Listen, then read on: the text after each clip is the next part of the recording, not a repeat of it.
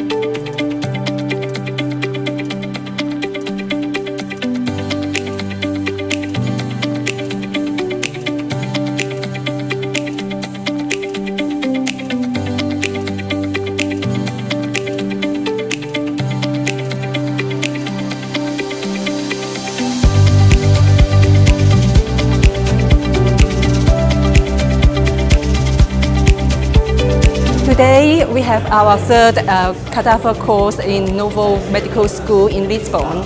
This course is not only important for us to introduce our stapler to surgeons, but also important for surgeons to exchange their experience because they are coming from different countries and they also have their own unique uh, technique. We hope this course can help uh, each other. Thank you.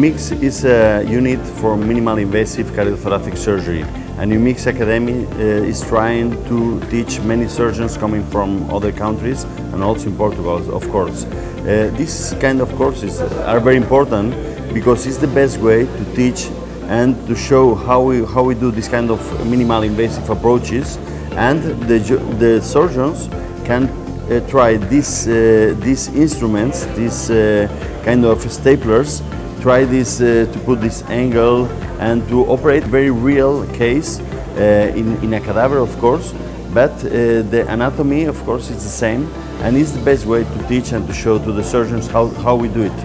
As a thoracic surgeon, it's very important to have the best quality staplers during the procedures you perform because you need to feel that you're uh, safe and secure when you're doing uh, vessels like the pulmonary artery, like the pulmonary vein. And with these staplers, uh, you don't have to worry about having a little bit of oozing or bleeding after using it.